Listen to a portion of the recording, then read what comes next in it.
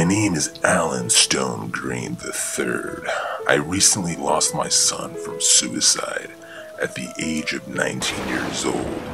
It's been a full year of grieving for me, and as the heartbreak continues to go on, I decided to write a book. I titled it Billy Joe Green, after my son's full name. He was my everything, my one and only son. I was browsing Craigslist for someone to proofread my book, and when I came across a lot of ads in the services section for proofreaders, writers, ghostwriters, and editors, I came across this one ad that was very eye catching and it caught my attention. I gave the number a call. This is Richard. My name is Alan. I'm interested in your services for my book to be proofread and edited. Yeah, tell me a little bit about yourself and your book. Well, it's my first book, and it's about my son that committed suicide. I was a professional bass player for a really big band back in the 80s. After that slowed down, I got married, and my wife and I had our only son. With the money that I made in the early 80s, I invested that in the real estate market. And when my son was 13 years old, he and I started working together. We built several houses in the Malibu area. After about three years of work, we took a two year break. He went downhill from there. He just didn't seem fulfilled anymore in life, and he was always searching for the meaning of life. One year later, at the age of 19, he ended up shooting himself in the in the head. Oh wow. I'm sorry to hear that, Alan. It's been really hard for me. I understand the father-son bond you two had, and I want to bring peace to you by proofreading and editing your book. He had such a calm and soothing voice. I was glad that I found someone that would be happy to work with me. How much are we uh, looking at for total cost? How long is your book? 450 pages. Well, Alan, I have to reassure you that I'm a former Sony executive and my work has won over six Emmy Awards. It would be a flat fee of $25,000 and on top of that, I could even get the book published with Penguin Productions. That would include 10,000 books published throughout 3,200 Barnes & Noble bookstores worldwide. Wow, that sounds amazing. I think I could do that. This is a really great deal, Alan. I usually charge around 50,000. If you would like to meet later today, I'm available. I could bring my contract and if you could get me a cashier's check, we could get things rolling. Great. I was super excited. This guy seemed perfect. But the price was a little steep. Later in the afternoon, we met at a coffee shop. Richard was wearing a suit and tie. He was dressed to impress. We got acquainted with each other. We talked about my book. Everything seemed great. But he kept pushing for me to get him a cashier's check and pay him right away. I told him I preferably would rather pay him after I get the first copy of the complete book, and then from there I would be happy to pay him the 25000 in a cashier's check. But he told me, I'm sorry, Alan, it doesn't work that way. If you want me, I'm gonna need that 25000 now. I said, okay. I was a little reluctant to pay such a large amount, but I wanted the book done right and he even said it might be possible for a big Hollywood motion picture. I went to the bank and picked up a $25,000 cashier's check and brought it back to Richard at the coffee shop. When I gave the check to Richard, he said, God bless you. I will bring peace to you and your son. Our paths have crossed for a reason, Alan, and I thank God for that. And then he pulled out a cigarette pack and said, would you like a camel? No, thank you. I don't smoke. I thought it was quite odd the way he said, Would you like a camel? Yeah, I'm addicted to these, man. I couldn't quit if I tried. I kind of cringed when I heard him say that. His attitude quickly changed after I handed him the check. But then we shook hands and Richard left the coffee shop. One week later, when I tried to call Richard, his phone was disconnected. I knew something wasn't right. I sent him an email and he replied back saying, Hey, I'm on page 120. Let you know when I finish the book. Something definitely wasn't right. He didn't even spell book right. He spelled Brook. B R O O K.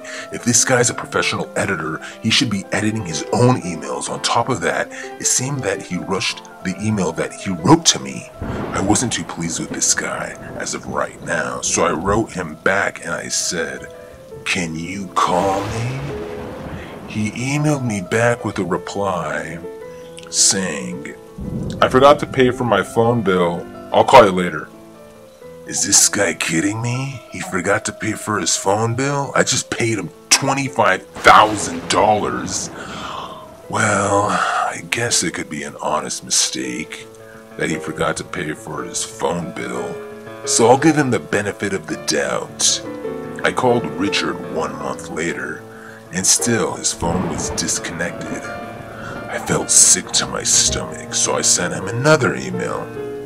He replied back three weeks later saying, Hey, I need to take a break from your book. Sorry, things come up. He did it again. Another error in his email. This time he said, Come.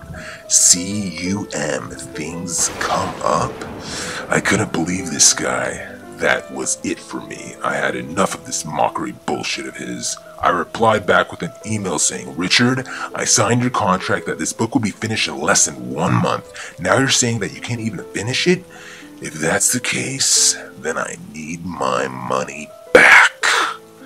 He replied back two months later through his email saying, Sorry, Alan, I don't know what you're talking about.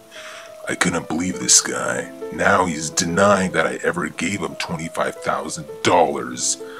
This malevolent man took my money and vanished. One year later, still nothing. I continued emailing him every day, letting him know that my vengeance will come upon him, and if we were ever to cross paths with each other, he would be a dead man. He once replied back in that year, saying, it's quite comical, Alan, that people like you are stupid enough to hand over a $25,000 check to someone that they don't even know. I replied back, We had a deal, and you're a liar, and you will pay for your lie. I don't know when, I don't know how, but one day when I find you, you'll be sorry because I won't want my money back anymore. I will only want you to suffer. Four years later, on my son's anniversary, I drove up to his memorial site where he shot and killed himself in the mountains. I laid some flowers down. I then walked to my truck. I was parked in the parking area with a beautiful view overlooking the city I was about to leave when a 2008 red Ferrari Spider pulled into the parking lot right beside me. I saw a man and woman in the Ferrari. They started making out. I wanted to give them their privacy, so I got into my truck.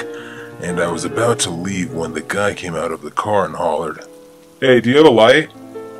Yeah, I threw him my lighter and he lit a cigarette. Thanks, pal. Would you like a camel? He said with a smile etched on his face as he pocketed my lighter. No thanks, I'm fine. I couldn't believe it. It was Richard. It was my time for revenge. I was going to get him back, but I didn't want to hurt the woman, so I waited for the right time. Roughly 30 minutes later, she got out of the car to use the bathroom as Richard continued to smoke away sitting in the driver's side seat. I put my truck in reverse and pulled out of my parking spot. It looked like I was leaving the parking lot when I parked directly behind Richard's Ferrari. I shouted out the window. Funny how we crossed paths again, Richard.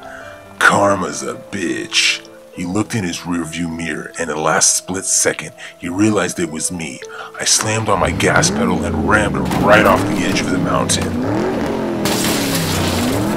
The Ferrari tumbled 500 yards down the mountain and then exploded into a million pieces. I honestly didn't want to kill Richard. I just wanted my book completed. I hate that he jerked me around as long as he did, and the longer he made me wait, the more vengeful I became. After I ran Richard off the edge of the cliff, his girlfriend came out of the bathroom. She didn't realize I rammed him down the edge of the mountain. She shouted towards me and asked, Did you see a red Ferrari drive off? Yeah, I did. Your friend Richard told me that he had a plane to catch. What? That asshole! If you want a ride, hop in. Okay, thanks. I ended up giving Richard's girlfriend a ride home to her place in Los Angeles. I didn't want to leave her stranded up there as the police and fire department would later arrive. I'm finally happy to say that Richard, a financial predator, a scammer, a thief, a con artist, is now gone forever. He was an individual that was scurrilous and if he could prey upon a grieving father that lost his son to suicide, who knows what else this monster could have done. I once heard a saying that went something like, Karma's a bitch, don't mess with her, or else she'll come back and bite you in the ass. And when she bites, she doesn't let go.